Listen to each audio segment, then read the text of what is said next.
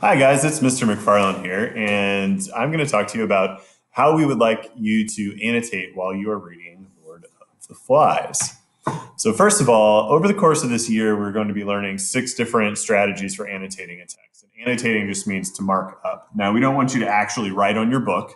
Uh, so, what we want you to do uh, is to get some sticky notes or post it notes uh, that you will then uh, write on and put in your book let us know if you need some and we can get you some. Okay. Uh, but if you've got some around your house, uh, go ahead and use those. Uh, otherwise, let us know. Uh, but uh, these are the six skills that we're going to ask you to to work on throughout the course of this year: visualize, summarize, clarify, connect, respond, and question. We're going to start with summarizing. So while you're reading Lord of the Flies, you're going to practice the skill of summarizing, which is a good way to keep track of your essential information while gaining control of lengthier passages. In other words, determining importance, stopping and reflecting about what's important here and writing it down. So, a good summary will do three things state what the paragraph is about, describe what the author is doing, and account for key terms or ideas. Um, now, uh, if you're reading a physical book, like I said, we're going to ask you to use sticky notes, and we want you to do that every few pages uh, at least, uh, and at the end of chapters uh, to briefly put in your own words what happened in that chunk of text, focusing on the most important event. Okay, so a uh, good habit to get in is before you turn the page or maybe like if you turn the page in the middle of a paragraph and you get to the end of that paragraph or the next page, stop and think, okay, what were the last couple of pages? What were the last few pages really about? What did I learn? Um, put a little summary there. Um, if you're using an ebook, uh, we're going to uh, have you use a website or an app called Kami, uh, and you can get to it on the website on your screen. We're also going to post instructions on how to do that separately from here.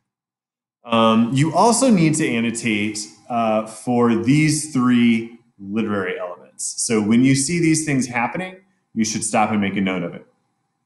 Uh, the three things are characterization, conflict, and symbols. Characterization is when a author tells you about a character. So like, you know, Ralph is tall and fair. Okay, Jack has red hair. Those sorts of things, or shows you what a character is like through their actions uh, and their words. Okay, so Piggy is always saying, "Oh, but my auntie. Oh, but my asthma." Right. So Piggy's kind of whiny. Uh, Piggy's uh, physically not uh, as adept as some of the other boys. Um, conflict uh, is when you see characters uh, in some sort of argument or fight with each other, or they don't like each other, or there's some disagreement. Uh, there's also conflict within yourself, like you feel uh, unsatisfied or conflicted about something. Uh, it can also be with nature, it can be against society, um, struggles, okay?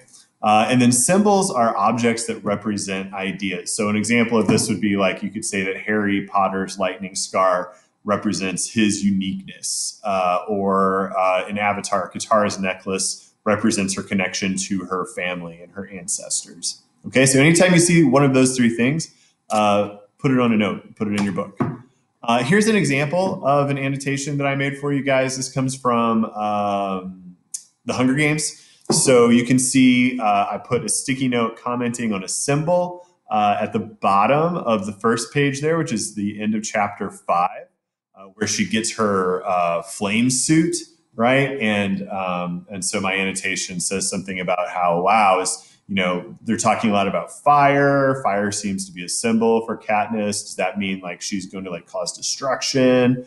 Um, and then uh, because it was the end of chapter five, you can see that I put a note about that, summarizing what was important in the chapter uh, at the top of the next page because there was some space there. Um, so I said what happened. She got made over. Uh, they made a big deal out of how dirty she was. This shows like the sort of the, the stereotypes or the discrimination against uh, people from from District 12.